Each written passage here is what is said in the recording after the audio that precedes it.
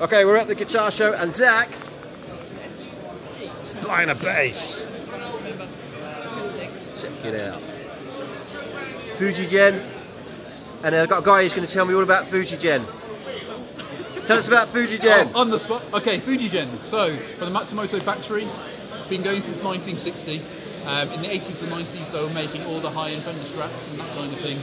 Um, Ibanez Prestige, Ibanez JEM, a few other of the big brands. Never been distributed in the UK before until now.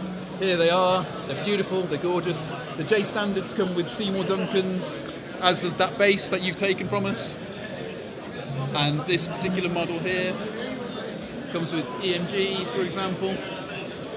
Circular fretting system.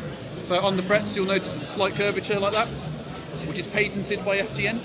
Oh. So what that means is it helps with sustain and intonation. So if you bend a high note above the 15th, sustained for days, and it makes them play like butter, man.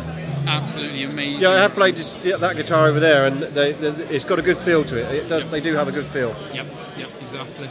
Um, so yeah, that's them in the nutshell. So like I say, heritage, Japanese brand, a lot of prestige, everything comes out perfect. Um, that's. Thank you very much. No problem.